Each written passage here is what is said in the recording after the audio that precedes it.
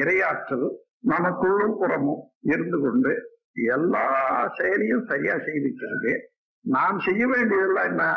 அதை உணர்ந்து கொண்டு அந்த ஆற்றலோட ஒத்து வச்சு வாழணும். எங்கே அந்த ஆற்றலுக்கு முரண்பாடாக நாம் எந்த காரியத்தை செய்தாலும் அந்த முரண்பாட்டில் இருந்து எழக்கூடியதுதான் துன்பம். வாழ்க்கை சிக்கல். இது முக்கியமான பாயிண்ட் நாம வந்து உணர வேண்டியது. எந்த இடத்துலயும் இரையாற்றல் எப்படி இருக்கு? ஆனோ ஆணோ பெண்ணோ நாம் பார்க்கிறோம். அவருடைய மனம் எது? இரையாற்றலினுடைய இறைநிலையனுடைய அலைதானே மனமாக இருக்கிறது.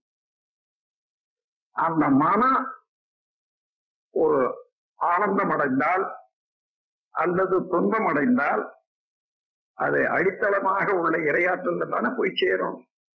அங்க சேர்ற போது அங்கேயே அடிக்கல அது வாங்கிக்குமா? இல்லை. இரையாற்றல் என்பது எனக்கும் அவருக்கும் மத்தியில ஒன்றுதான். பிரபஞ்சத்துக்கே ஒன்றுதான். அப்போ ஒரு மனிதன் சீர்கேடான காரியம் ஒண்ணு செய்தா அது அவனோட போகல.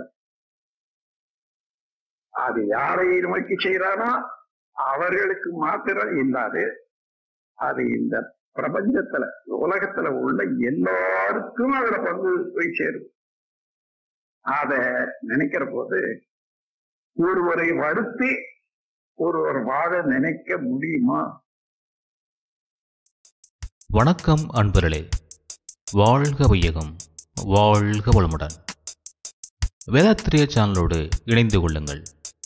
உங்கள் உடல் நலம் மனவளம் உயிர் வளம் பெருக்கிக் கொள்ளுங்கள்.